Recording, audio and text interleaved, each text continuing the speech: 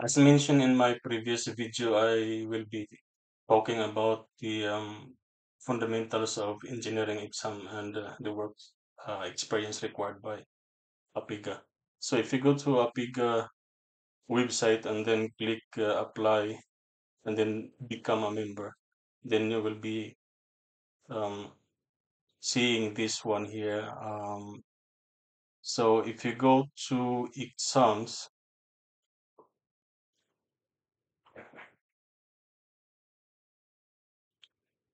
and then go to fundamentals of engineering.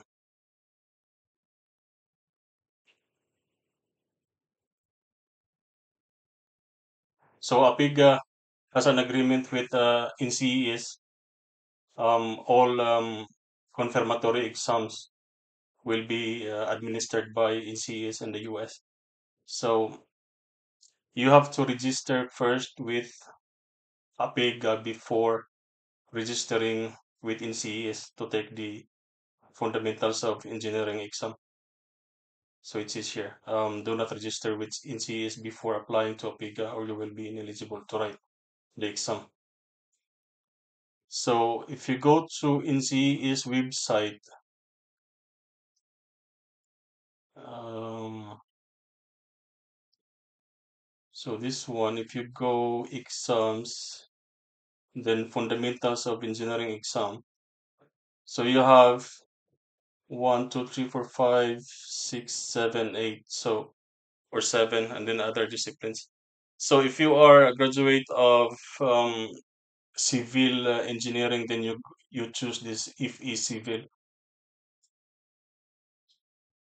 and these are the coverage for the exam. So you have mathematics and statistics, uh, ethics and professional practice, engineering economics, statics, dynamics, mechanics of materials, uh, then uh, materials, fluid mechanics, surveying, water resources and environmental engineering, structural engineering, geotechnical engineering, transportation engineering, uh, construction engineering.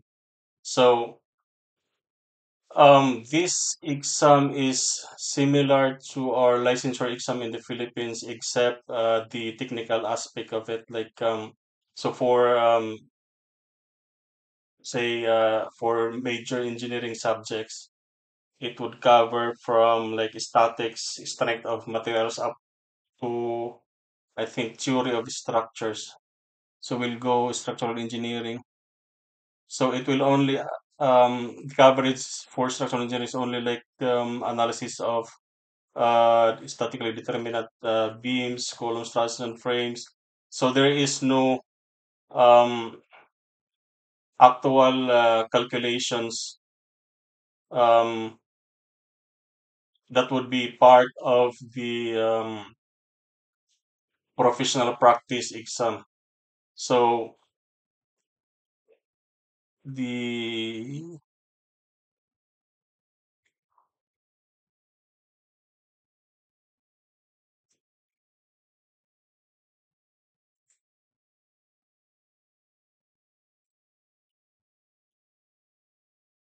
so I took my fundamentals of engineering exam um, as well as the principles and practice of engineering. This one here, um, the one I took in uh,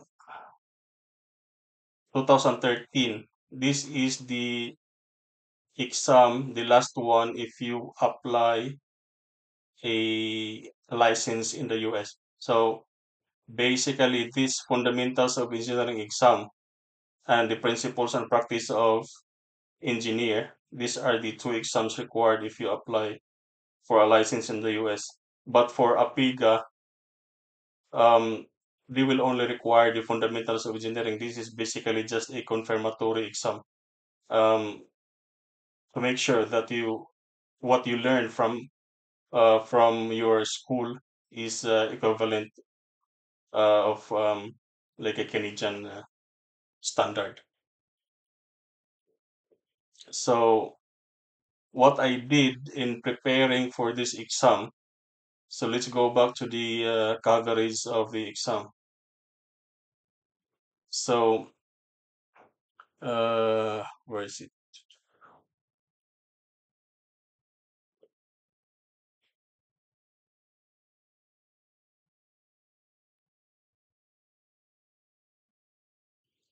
Oh, there's no more chemistry.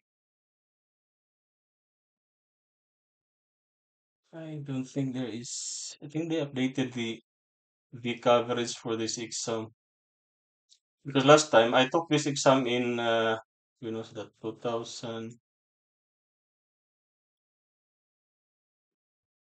So I first applied in October 29, 2011, but I deferred um on that time because I don't have enough time to prepare. So I registered, I, I deferred it and uh, applied for the next uh, exam, which is on April 14th, uh, 2012. And um, I took a one week leave to prepare for that exam. And uh, it was a written exam, and you have to pass, I think, I think 75 is the passing passing score.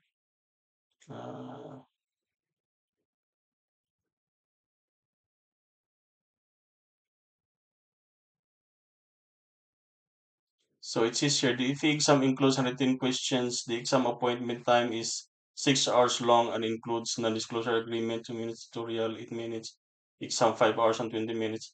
Um, I think uh, it changes. Um, so when they when they change the the like how they administer the exam, before it was um, a written exam, but now you can uh, take the exam in uh, like online and um, it was a it was I think eight hour exam, like four hour. Um, in the morning, eight to twelve, the the coverage would be um, the general engineering, and then uh, in the afternoon would be your discipline specific. So in the morning, the the, the exam would uh, com- comprise with uh, so like algebra, trigonometry, and then before I don't know why they there's like changed the coverage of the exam before um, the exam includes um, thermodynamics, um, basic electrical engineering, um, chemistry. Because I remember uh, there was a question about uh, uh, what's called like stoichiometry, um, balancing equations. Um, and then for thermodynamics, there was a question about uh, um, pressure and uh, like volume like I don't know, I can't remember, but the equation is PV equals MRT, something like that. So it's a good thing that now they remove that uh, remove that uh, subjects in the coverage because you can focus really on um, the uh, the civil uh, um, subjects. Because before what I did was um, I calculated all the like like the odds of passing the exam without um, getting a correct answer for chemistry, thermodynamics, electrical. I have no idea. So um, it's just a waste of time if I will uh, spend studying that subject. And I mean, if if you don't know, even if you're given a a, a year or two years to do the exam, you can't really um, pass that without without the basic knowledge. So I didn't spend much time on that subject, and I just rely like the the question is multiple choice anyway. So I have a 20 25 uh, chance of getting a correct answer for its uh, for its subject. And then what I did was I calculated what's the what's the total score, uh, what's the score for um, chemistry, thermodynamics, and then electrical, and then I I I subtracted that uh, possible uh, uh, score from from the total questions, and then if I think uh, I think it was only 80 questions at that time, and then the the questions for chemistry, thermodynamics, and electrical engineering. I think there are only about six or seven questions for those subjects. So even if I got uh, wrong answers for all those subjects, um, if I focus my my time and my energy on the other subjects which I have um, an, at least an idea, um, I, I would still have a bigger chance of passing the exam even with even if I, I got wrong all the questions for those other subjects. So for the um, for the study guides, if you look at the if you go exam um, references, where is it? Exam um, reference exam. Um.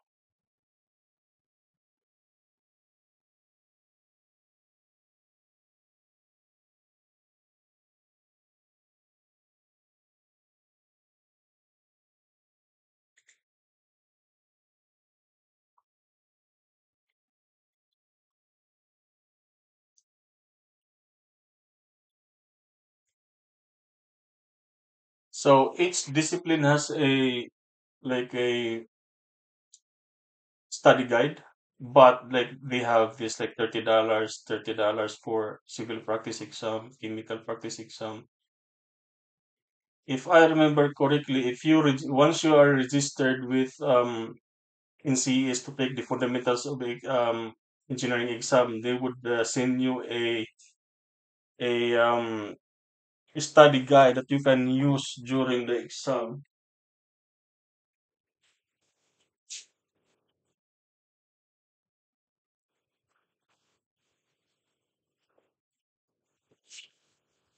So when we had that um exam, so it was written. So I don't know if you can see this one. So this was sent to me by NCEES, and you can you can bring this during the exam, and um, you can open it. But the problem is trying to find where the where the the the pages for a particular topic. Uh, it would just eat your time. So actually, I brought this one during exam, but I didn't really open this one. I just relied on my stock knowledge and. Uh, So the questions really are very basic, like for algebra, like linear equations, like three equations, three unknowns, like that. So it's uh, it's not really that difficult. The only the only problem really, if you are like, for example, if you graduate, like when I took this exam in Calgary, uh, there was one Filipino who graduated uh, engineering in 19, I think 1978. He's really old at that time when he took the exam, and really time is your enemy here. So imagine if you graduate like three decades ago before taking the exam. I don't know if you can still remember like most of these uh, subjects.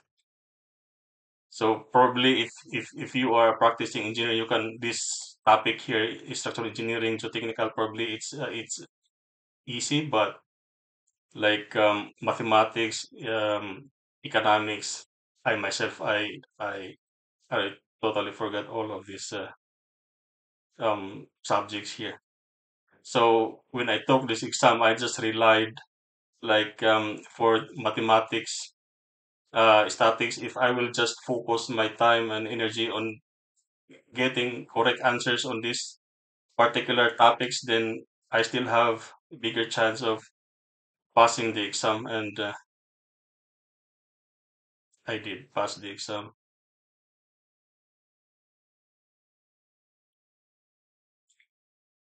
So for um, preparing the exam as well, you can buy um,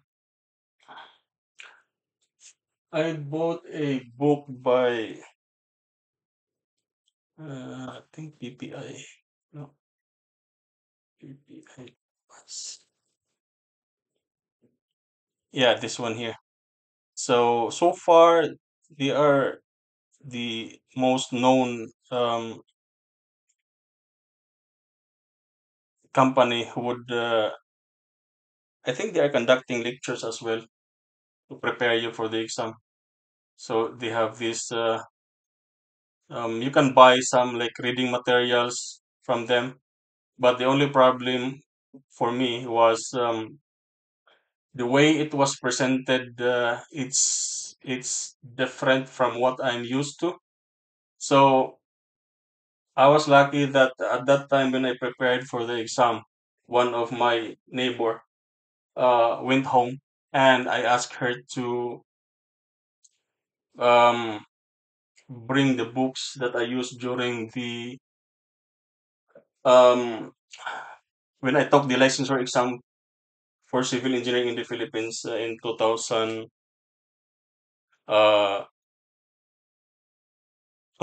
May 2002. So these review books, I don't know if you can see this one. So these are from um, Bisabilia Engineering Review Center. So I took my um, review with um, the um, like in Cebu with uh, Bisabilia Engineering Review Center. So I asked my neighbor to bring those uh, these um, references, and um, just because I'm I'm used to like how how the the problems are presented, and it's easy for me to remember. Because in in like references I bought from PPI to pass um um I think what's the name? Fundamentals if civil.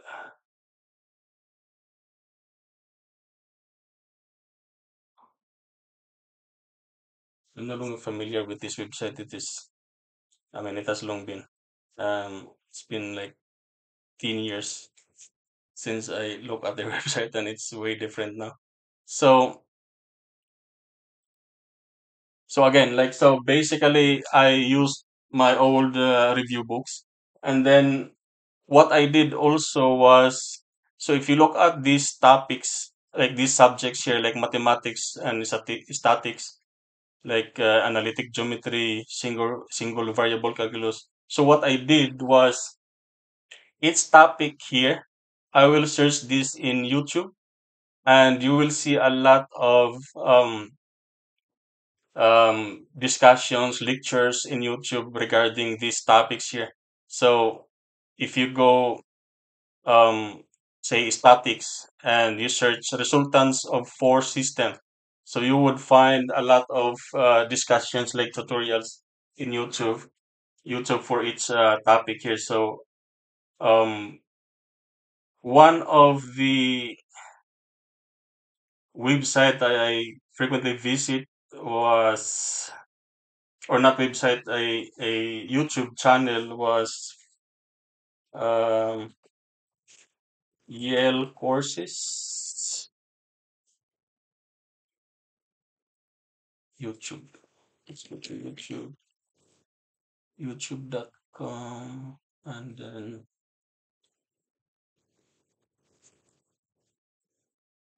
there is one professor here like uh, i think in physics and he really explains everything like all like the best uh, or i would say the, the the yeah the best explanation i would say he explained very well like all the topics. Um i think yale courses uh, so this is where i studied when i uh, for the um, hydraulics uh, subject. Uh, this one here, Fundamentals of Physics with uh, um, Ramamurti Shankar, and he explains like the subject like really, really like pretty well, and you would easily understand. So, I mean, you're you're you might still have your your um your um, basic understand or basic understanding of like all the topics, but uh, sometimes uh, if you are not uh, practicing your profession, you would definitely forget everything. But um, once uh, you see uh, some of these lectures, uh, it will just come back uh, right away. Like you will remember. Um,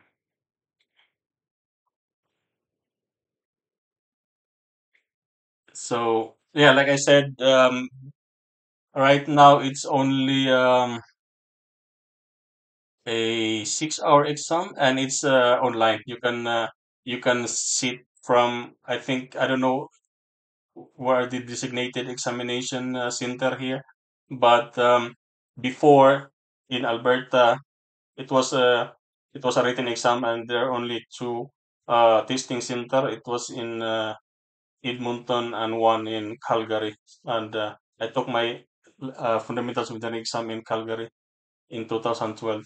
So the only difference is this right now it's a uh, computer based and then uh, six hour long exam. Before it was uh, uh, eight hour, and the morning are um, the general engineering subjects, and then in the afternoon it would be uh, discipline specific. So if you are say if you are a, civil engineer, then you would the the questionnaire that will be given to you will be um, fundamentals of uh, engineering exam for civil, and then um, civil structural, I think, or was it the? Let me check. I can't remember if they separated all the um.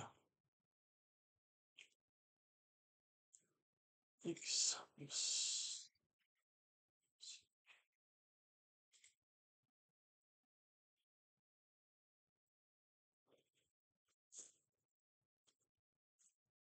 So PE.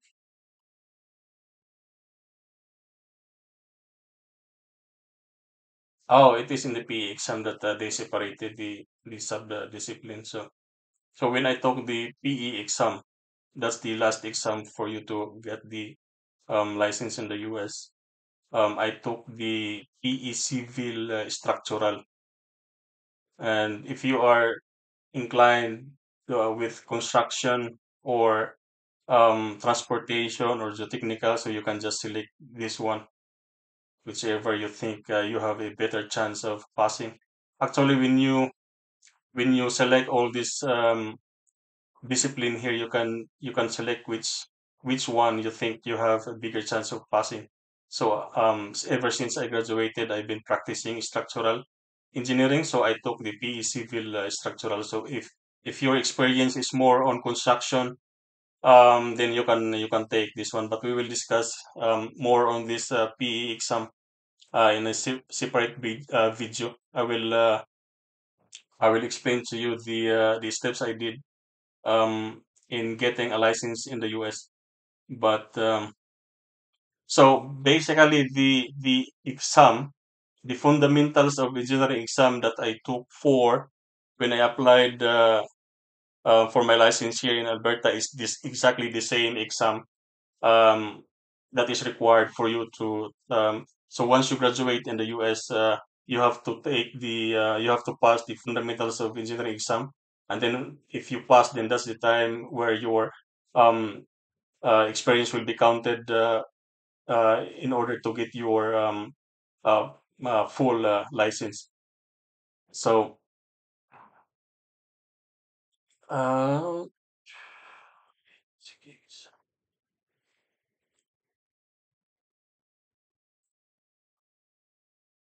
so if you go back to um, the Apega website, um, you will uh, you will see here everything you need, uh, every questions you might have with regards to um, um, taking the FE exam.